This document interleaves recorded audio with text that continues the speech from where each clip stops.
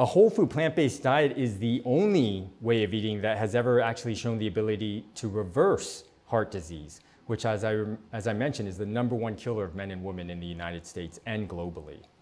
And the one who really sort of showed the potential for this is Dr. Dean Ornish, who I mentioned earlier. He is a professor of medicine at, U at UCSF. Uh, he's famous for this lifestyle heart trial um, and he was on the cover of Newsweek, actually, for his work in this area. And this was back in the 1980s to early 90s, where he took RCT stands for randomized controlled trial. It's sort of considered the gold standard of medical research because he took 48 patients with moderate to severe CAD, which stands for coronary artery disease or heart disease, and he, random, he took half of them and put them on the American Heart Association diet. So they continued to receive care from the cardiologist and ate sort of an AHA, American Heart Association healthy diet.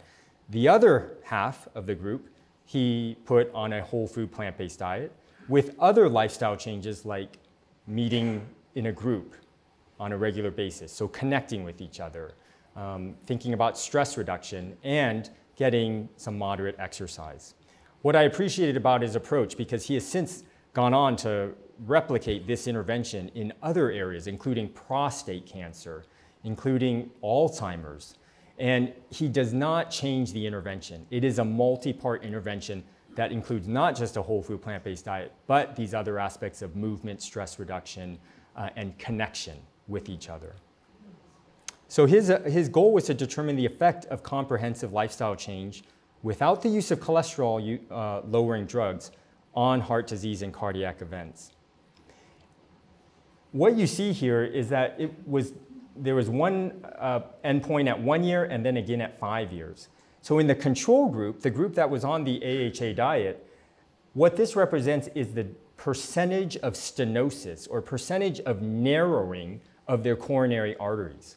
And so you see here that on average, it increased over the five years from 40.7% up to 42.3%, up to 51.9%. This is very much what we expect that the longer you live, the more the, the older you get, the more standard American dietary foods you eat, right? That your stenosis or your narrowing will gradually worsen over time. What was really neat to see is that in the intervention group, it's not that the percentage of stenosis went to zero, because there is a certain amount of plaque that blocks the arteries that almost becomes sort of like scar tissue, right? So it's just not going to go away. But there's also what's called soft plaque, and that's really where there's possibility for, for improvement. And so what we actually see is that the average in the intervention group went from 41% blockage down to 38.5, down to 37.3%.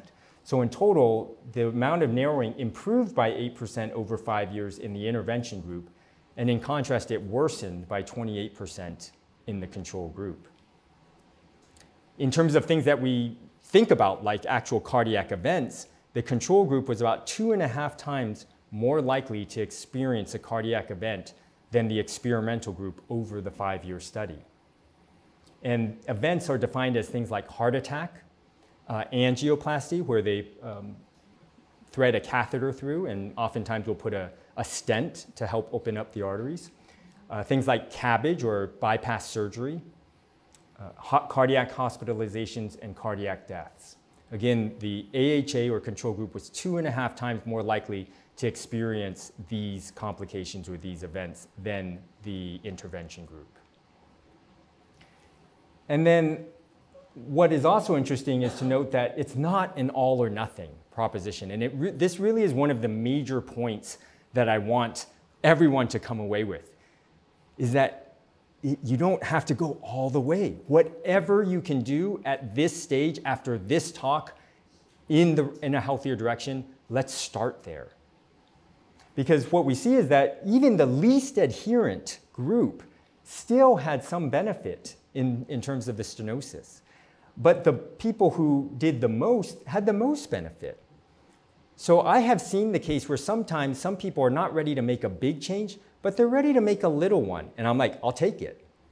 And then they do that for a bit. I'm like, oh, that soon becomes easy. And now, now they're ready. to make a bigger change. And so it's sort of meeting people where they're at at that season of their life and encouraging them in that space. This is Dr. Esselstyn. He has sort of added to this concept of reversal of heart disease through a plant based diet through his own research. He's a surgeon at Cleveland Clinic and he worked with a small group of patients. This is the actual angiogram from one of the patients uh, that he worked with, the distal LAD, the left anterior descending artery. And you can see how it kind of gets a little narrow towards the end. This is called the widowmaker artery for a reason. Well, three years later, after eating a plant based diet, I don't know if you can tell, but it has opened up considerably. And so, one of the books I highly recommend that you look at, especially if uh, heart disease affects a family member or yourself, is, this, is his book, Prevent and Reverse Heart Disease. This is Dr. Kim Williams. I want, to, I want you also to realize that this is more mainstream than you might think. Dr. Kim Williams is the former president of the American College of Cardiology. He's currently a head of cardiology department at Rush University Medical Center. So he's very much in mainstream medicine. And when years ago he learned about the power of a whole food plant based diet, just like me, he has now since come out and said things like this Wouldn't it be a laudable goal of the American College of Cardiology to put ourselves out of business? That's not my quote, that is his quote. There are two kinds of cardiologists vegans and those who haven't read the data. So he is a huge proponent of a plant-based diet. He has adopted it himself. He is he's a big tennis player. Uh, he's actually a former professional tennis player, and he has experienced the benefits in his own personal life. He thought that his high cholesterol was genetic because it runs in the family. So if you have that narrative in your head, oh, I have this because it runs in the family, there is a saying, okay, genes loads the gun, lifestyle pulls the trigger. So, yes, you may have a predisposition towards heart disease or um, towards stroke or towards some autoimmune, but don't underestimate the power of radical lifestyle change to make it so that those genetics never fully express themselves. I have seen it again and again and again. And Dr. Williams had that aha moment where he realized that his genetic history did not determine his fate. He has since seen a significant drop in his cholesterol to optimal numbers and seen how lifestyle really uh, overcame his uh, genetic makeup. I saw this study when I, I, I, still remember I went to the Plantrition plant-based conference back in 2015 with my dad. And I remember Dr. Michael Greger, who is another very famous um, pioneer within this plant-based field, putting this study up on the screen, and I, my jaw just dropped because diabetic neuropathy is something that I had seen so much in clinic and felt so helpless to treat.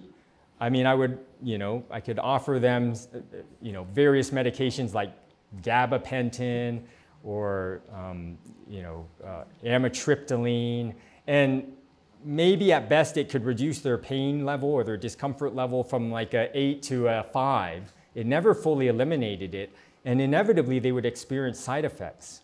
So when he showed me this study, where 21 patients with type 2 diabetes and neuropathy and an average age of 64 went to a 25 day residential program with a low fat, high fiber vegetarian diet, essentially a whole food plant based diet, of unrefined foods and conditioning exercise here were the results. Complete, not partial, complete 100% relief of neuropathy in 17 of 21 patients within 4 to 16 days. I had never seen that happen in one of my neuropathic patients. 17 out of 21 with no medication and just eating a healthy plant based diet and getting some exercise. What was interesting and what I really appreciated about this is they followed up. Um, they followed up with these same 17 patients uh, four years later, four years later. And of the 17, all of them except one continued to have 100% relief of their neuropathy. And the one who had some partial relapse, it still was much better than, than original. It just wasn't complete. This only captures their improvements in neuropathy, but many came off diabetic medications, lost weight, lowered blood pressure, all those things that I showed you in the Hawaiian study from Dr. Shintani earlier. This is Jose. I just, this is a picture I just took on Wednesday, uh, no, Tuesday of this week. I said, Jose, I got, I've got to capture this because your story is just too good to tell. I just saw Jose in May.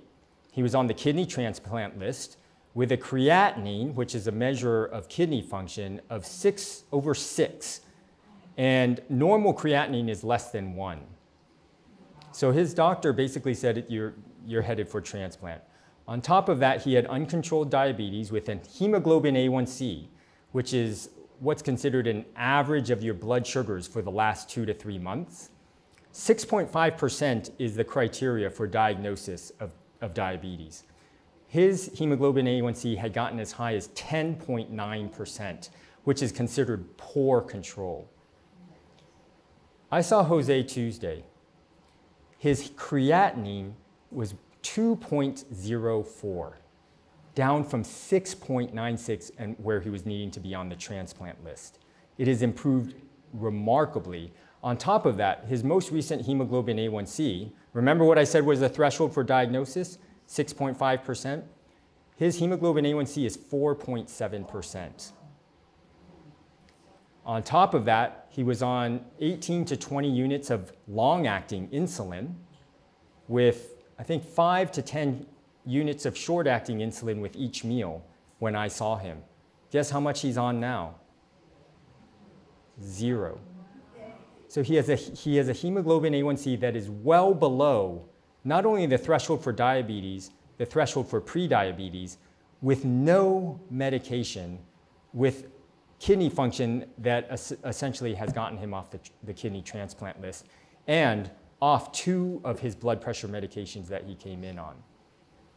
You see why it's one of the best jobs I could have in the world.